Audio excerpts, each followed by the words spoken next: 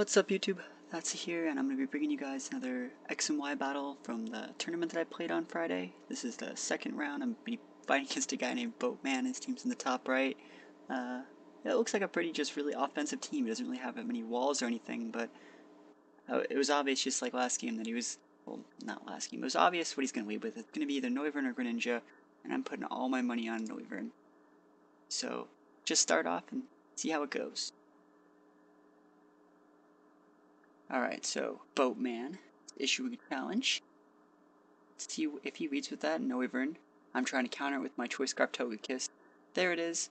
In all reality, I would have been faster than Greninja anyway, so this is the perfect lead to counter a fully offensive team.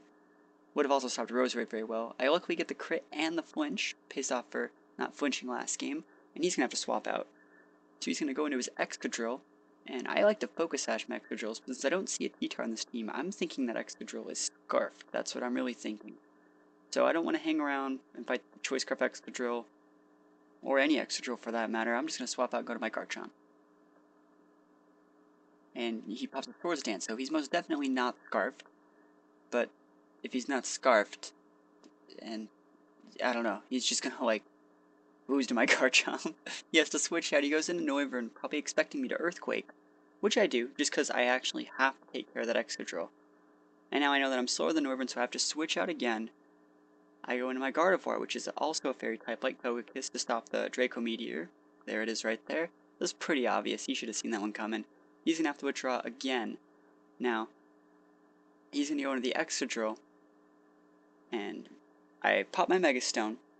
And I don't, I think I just go for like a Dazzling Gleam. Let's see what I go for. Yeah, Dazzling Gleam. So yeah, this Gardevoir is actually a very special Gardevoir. I'm going to be showcasing something super special in this game about it.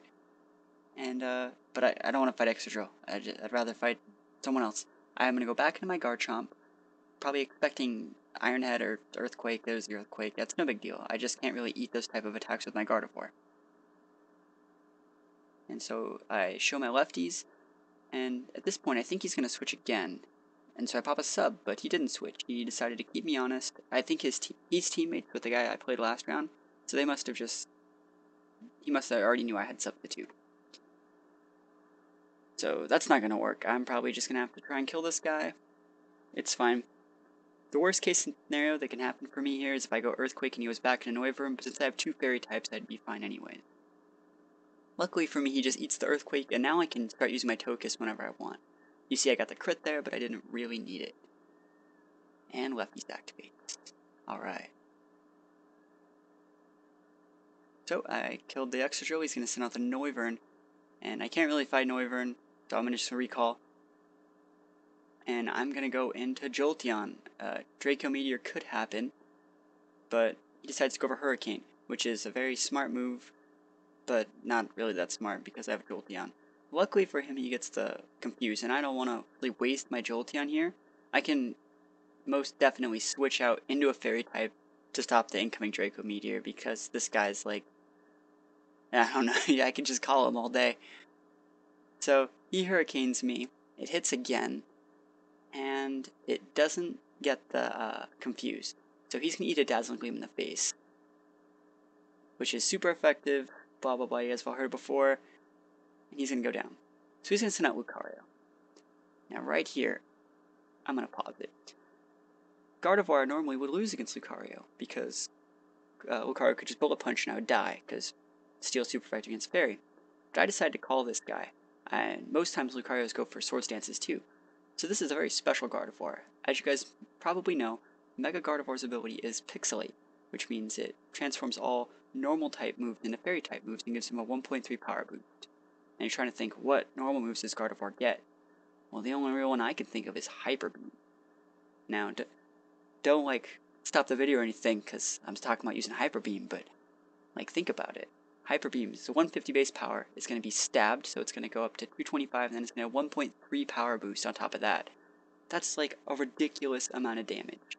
Now, I play a card game called Weiss Schwarz, and there's a type of a thing called we like to call it a friendship cannon, where it's a huge like hyper beam cannon, and when you hit someone with it, you gotta be best friends forever. So this is gonna be the unveiling of the Gardevoir. friendship cannon. I pop that hyper beam, and like we've been doing like stat checks, like me and my team, we've been doing a bunch of stuff about it. There's like no Pokemon that live through this hyper beam. I think full special wall Togekiss did. So things like full special wall Togekiss, Blissey, those type of things can live. But like Vaporeons, even Scizors, look that Lucario went down. I mean, Lucario is supposed to resist Hyper Beam, but it totally died. And of course, you see that you're gonna, you're pretty much gonna die after you use it. This is, I was completely trolling in making it. It's not supposed to be super competitive, but it is super hilarious. And it totally worked. Like when I hit with it, everyone was just like, "Oh man, look at that hyper beam!" So ruined that guy's day. At this point, like I said, I killed Excadrill, so I can pretty much just go to town with my Togekiss. And just air slash all this guy's Pokemon. But yeah, I really, I'm really happy that that, that Gardevoir worked. I try a couple more times later in the tourney. It's just a complete, if you send Gardevoir at the right time, your opponent, one of their Pokemon is just going to die. They just pick something to die. Doesn't matter really if they resist it. And most of the time, if they're like a wall, like a Blissey or a Togekiss, they can't capitalize on you having to recharge, and you can hit them with another attack and then potentially kill another Pokemon with Hyper Beam. So the potential for outplay is there too. But yeah, this game's pretty much over. I'm just Choice Scarf Air slashing on everything. And uh, yeah, I'm surprised that that lived, but it's not like he can kill me.